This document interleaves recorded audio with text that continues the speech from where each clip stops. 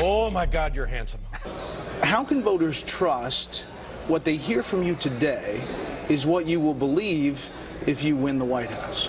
One, we're going to have to be better informed about my views on issues. But I'm sure you've seen these ads using videotape of you in previous years speaking on various issues. Mm-hmm. And it seems like it's in direct contrast to positions you take now.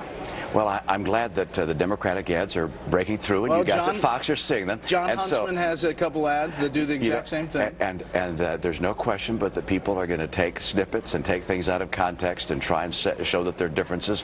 You know, I don't typically think this is an unusual interview. All right, let's do it again.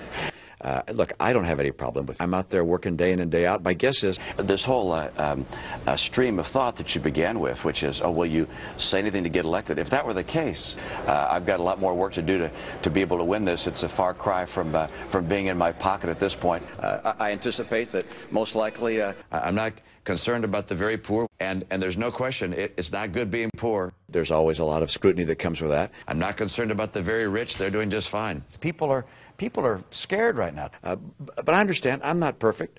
Uh, some people don't think I'm the ideal guy, but hopefully enough people do. And one thing I'm not going to do in running for president is to or apply the Constitution. I'm not going there.